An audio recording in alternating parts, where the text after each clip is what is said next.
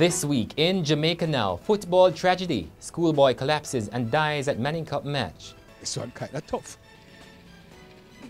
Mobay mayhem, 11 shot in St. James, 5 killed. The authorities impose curfews and a pledge to make Mobay better. PNP hierarchy mum on the decision of Norman Horne to step down as treasurer. And the Al Miller press conference after his corruption conviction. I'm Damian Mitchell and this is Jamaica Now. There was shock and mourning across the nation this week after 18-year-old St. George's College captain Dominic James collapsed during a Manning Cup match against Excelsior High and later died at hospital. The match had to be called off as devastated players reacted to the news. The incidents also reignited concern about the guidelines for medical coverage at sporting events. On Friday, the Education Minister announced that a formal investigation will be launched into the death of the schoolboy footballer. After he collapsed, James was attended to by medical personnel on location. However, he had to be rushed to hospital by his father David because there was no ambulance or stretcher at the venue. The St. George's College has indicated that it plans to have an ambulance at all remaining Manning Cup matches. And coach Neville Bell says he is trying to keep the team going. I pray for strength for myself because uh, in times like these you need a strong leader. I don't know how strong this leader is, but I know as long as God is still with us, he will give me the strength to help the youngsters and to help myself. The police on Thursday night imposed a 48-hour curfew in Glendevon St. James in a bid to curtail the violence in the community in which four people were shot and injured this week. Seven other people were killed in various incidents in the parish in a week when five people were killed in St. James. The National Security Minister says additional soldiers have been sent in to support the police, but even then there are concerns as they seek to repel criminals.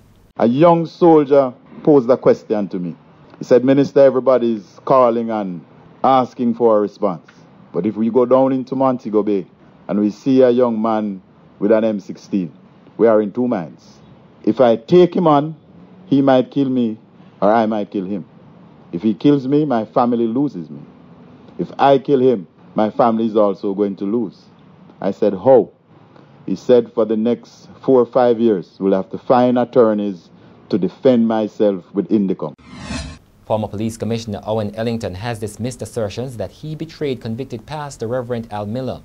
According to Reverend Miller, the former commissioner was aware of plans for him to take then-fugitive Christopher Dudus Coke to the United States Embassy in Kingston in 2010.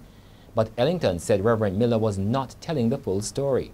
Reverend Miller this week held a press conference seeking to bring clarity to the matter. Prime Minister Andrew Holness says the government of Jamaica will not be going ahead with plans to develop a transshipment port and industrial park on the Goat Islands in the Portland Bight protected area.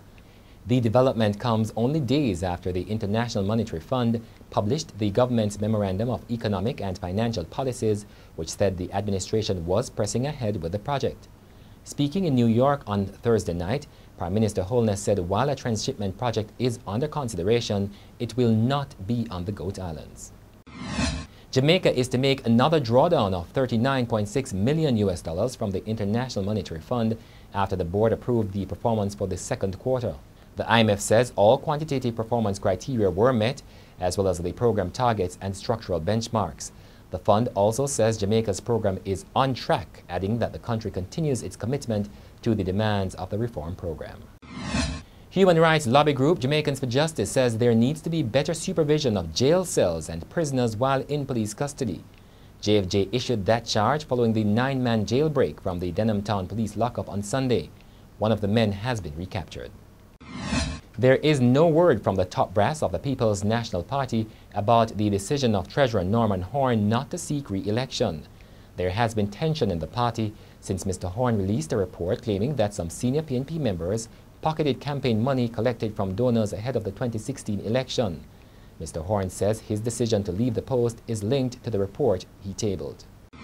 And that's it for this edition of Jamaica Now, your weekly review of the big news stories. Send us your comments at onlinefeedback at gleanerjm.com. You may tune in to Power 106 FM for regular updates. Follow us on Twitter at Jamaica Gleaner and on Facebook at Gleaner Jamaica.